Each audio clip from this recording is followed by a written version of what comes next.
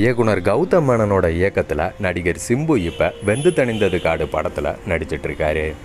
இவங்களோட கூட்டணியில் ரிலீஸ் ஆன விண்ணை தாண்டி வருவாயா அச்சம் என்பது மடமேடா போன்ற படங்கள்லாம் மிகப்பெரிய வரவேற்பு பெற்ற நிலையில் இப்போ இந்த கூட்டணி மூன்றாவது முறையாக இணைஞ்சிருக்கிறதுனால ரசிகர்கள் மத்தியில் படத்தின் மீதான எதிர்பார்ப்பு அதிகமாகி இருக்குது இந்த படத்தில் சிம்புவுக்கு ஜோடியாக கயாடு லோகர் நடிக்கிறாங்க.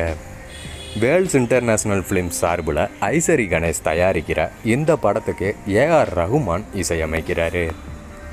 முதல் மற்றும் ரெண்டாம் கட்ட படப்பிடிப்பை திருச்செந்தூர் சென்னை உள்ளிட்ட இடங்களில் படமாக்கின படக்குழு இப்போ இறுதிக்கட்ட படப்பிடிப்பை மும்பையில் நடத்திட்டுருக்காங்க சமீபத்தில் இது தொடர்பான புகைப்படங்கள் கூட இணையதளத்தில் வெளியாகி இருந்துச்சு. வெந்து தணிந்தது காடு படத்தோட டீசர் பற்றின தகவல் வெளியாகி இருக்குது அதாவது வெந்து தணிந்தது காடு படத்தோட டீசரை படக்குழு அடுத்த வாரம் வெளியிட இருப்பதா சொல்லப்படுது. மாநாடு படத்தால் உற்சாகம் அடைந்த ரசிகர்கள் இப்போ வெந்து தணிந்தது காடு படத்தோட டீசரையும் கொண்டாடுறதுக்கு தயாராகி இருக்காங்க.